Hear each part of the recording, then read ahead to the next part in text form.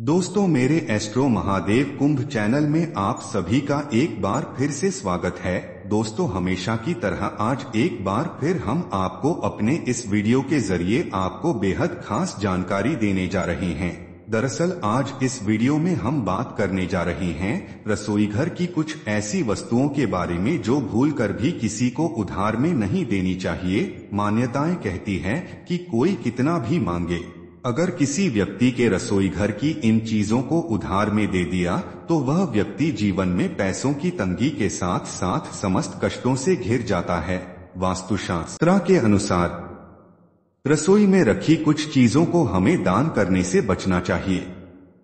रसोई की ये खास चीज़ें किसी दूसरे को देने से घर की बरकत खत्म होती है। दोस्तों वास्तु शास्त्र के अनुसार घर के किचन में इस्तेमाल होने वाली हर चीज़ घर के सभी सदस्यों पर प्रभाव डालती है। घर का रसोई सबसे महत्वपूर्ण भाग होता है। वास्तुशास्त्र मानता है कि चकला बेलन का इस्तेमाल करते समय कई बार हमसे छोटी छोटी गलतियाँ हो जाती हैं, जिनकी तरफ़ हम ध्यान नहीं देते। यही गलतियाँ आगे चलकर वास्तु दोष का कारण बन सकती हैं। दोस्तों, सभी की यही कामना होती है कि घर में हमेशा माता लक्ष्मी की कृपा बनी रहे। परिवार को आर्थिक तंगी का सामना न करना पड़े। इस संबंध में ज्योतिष शास्त्र में कुछ महत्वपूर्ण बातें कही गई हैं। ज्योतिष शास्त्र के अनुसार रसोई घर में रखी कुछ चीज़ें तकदीर बदल सकती हैं। इन चीज़ों को उधार देने से घर की समृद्धि रुक सकती है। ज्योतिष में कुछ ऐसी बातें हैं, जिन्हें भूलना नहीं चाहिए। आमतौर पर कभी हमारे किचन में कुछ चीज़ें खत्म हो जाती हैं। ऐसे में हम बाज़ार जाने के बजाय उन चीज़ों को पड़ोसी से उधार लेते हैं, या कोई पड़ोसी आपसे रसोई का कुछ सामान लेता है, जो कि ज्योतिष की दृष्टि से गलत है। यदि आप किचन की चीज़ों को किसी को इस्तेमाल करने देते हैं तो इससे घर की सुख समृद्धि पर नकारात्मक प्रभाव पड़ता है। आइए जानते हैं। रसोई की वो कौन सी चीज़ें हैं जिन्हें दान देकर आप खुद मुश्किल में पड़ सकते हैं? दोस्तों, वीडियो में आगे बढ़ने से पहले हमारे वीडियो को अभी तक लाइक नहीं किया तो लाइक करें और चैनल को सब्सक्राइब करें। तो आइए अब वीडियो शुरू करते हैं।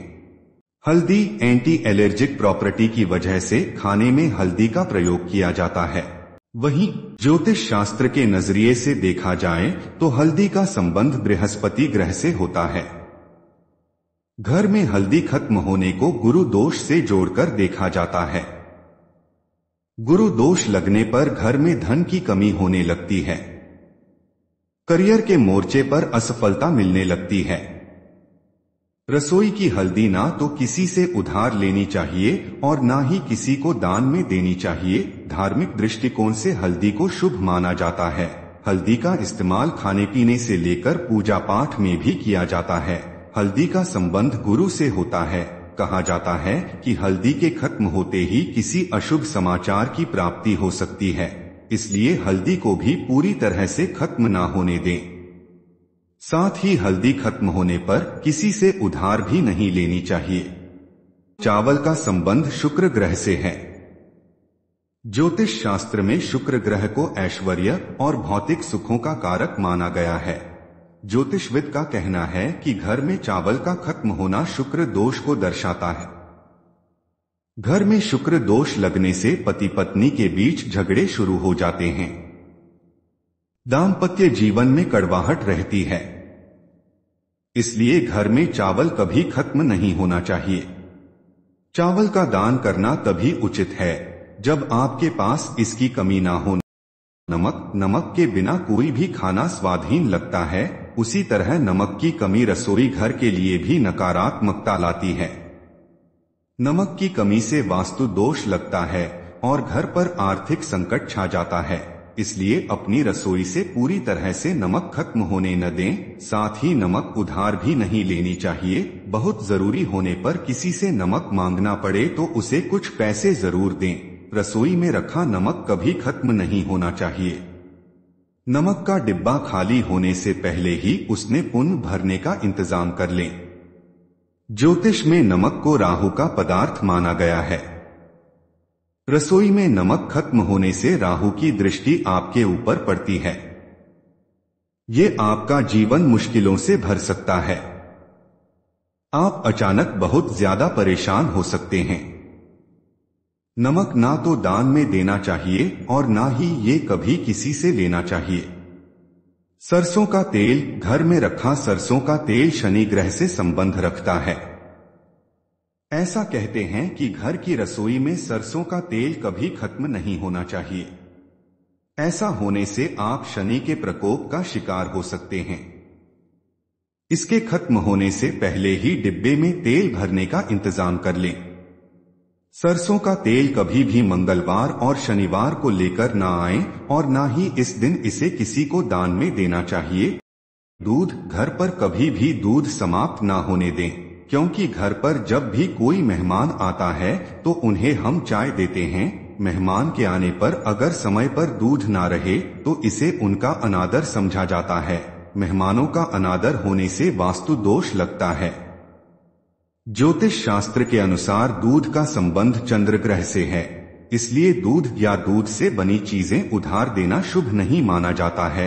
खासकर सूर्यास्त के बाद किसी को दूध का उधार नहीं देना चाहिए। दोस्तों, इसके साथ ही शाम के वक्त न दें प्याज लहसुन। लहसुन प्याज का संबंध केतु ग्रह से माना जाता है। इसलिए आपको अपने पड़ोसी को लहसुन प्याज भी उधार नहीं देना चाहिए। इससे आपके घर की बरकत में अड़चन आ सकती है। रुमाल अपना ही सही है। अक्सर देखने में आता है कि ध्यान दिए बिना लोग एक दूसरे का रुमाल भी प्रयोग करने लगते हैं। ऐसा करने से उन दोनों के बीच तनाव पैदा हो सकता है। वहीं पैसों के नुकसान को भी झेलना पड़ सकता है। धन न दें उधार। सूर्यास्त के बाद कोई व्यक्ति यदि आपसे धन मांगे तो भूलकर भी उसे उधार न दें। ऐसा करने से माँ लक्ष्मी आपसे नाराज़ हो जाती हैं। दूसरे के गहने का ना करें प्रयोग। अक्सर देखने में आता है, खास तौर पर महिलाओं के साथ कि वे अपनी पोशाक से मैच करते हुए गहने दूसरे के पहनने से परहेज नहीं करती, वास्तु में इसे अशुभ माना गया है। ऐसा करने से न सिर्फ़ आपका स्वास्थ्य खराब हो सकता है, बल्कि दूसरे ग्रहच्छा आपको भी प्रभावित कर सकती है। पेन न रखें किसी का। पेन एक ऐसी चीज़ है जिसे हम अक्सर दूसरों से मांगकर प्रयोग करने लगते हैं और वापस करना भूल जाते हैं। वास्तु के मुताबिक अगर किसी दूसरे का पेन लेकर इस्तेमाल करने के बाद न लौटाया जाए तो पैसों की तंगी का कारण बन सकता है। साथ ही इससे आपके मान सम्मान को भी ठेस पहुँच सकती है। भूलकर भी न पहने दूसरे का घड़ी हो सकते हैं, असफल। घड़ी के बारे में कहा जाता है कि यह पहनने वाले पर अच्छा और बुरा प्रभाव डालती है। दूसरों की घड़ी पहनने से उस व्यक्ति की एनर्जी का असर हम पर भी पड़ सकता है। यहाँ तक कि असफलता और दुर्भाग्य का भी सामना करना पड़ सकता है। दोस्तों, इसी के साथ धार्मिक मान्यताओं के अनुसार रसोई घर का चकला बेलन और तवा भी किसी को नहीं देना चाहिए, क्योंकि ये चीज़ें किसी को देने से आपका भाग्य भी चला जाएगा। और घर में किसी चीज़ की बरकत भी नहीं रहेगी। तो दोस्तों, ये छोटी छोटी चीज़ें अगर आप भी फॉलो करते हैं तो आपके घर में कभी भी धन की कमी नहीं होगी।